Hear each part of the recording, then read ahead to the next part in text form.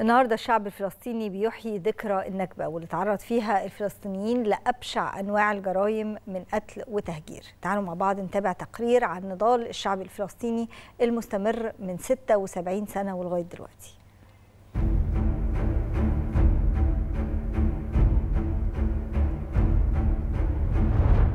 يوم الخامس عشر من شهر مايو يحيي الشعب الفلسطيني ذكرى النكبة التي استمرت أحداثها نحو سنتين من منتصف عام 1947 وحتى منتصف عام 1949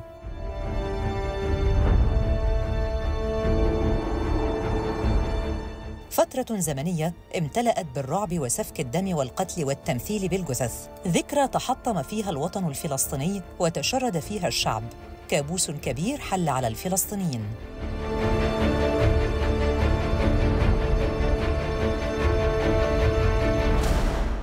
التقارير والأبحاث التي تحدثت عن النكبة أكدت أن كل الأهوال التي مر بها الشعب الفلسطيني في تلك الفترة كانت جزءا من مخطط مدروس من قيادات الحركة الصهيونية مخطط لتهيئة الساحة للإعلان عن نشأة دولة إسرائيل.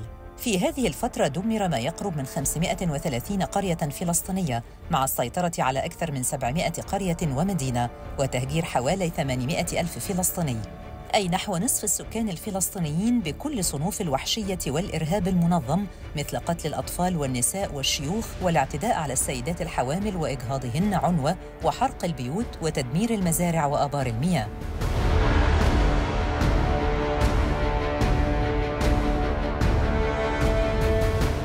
أرقام لا يمكن أن ينساها الشعب الفلسطيني.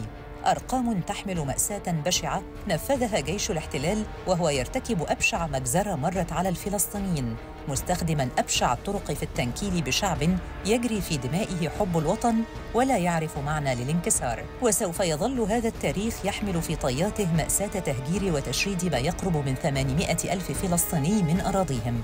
ذكرى تستعيد تاريخ الدم الذي سال والصرخات التي تعالت. والرعب الذي سيطر على نفوس الشعب الفلسطيني يوم الخامس عشر من شهر مايو.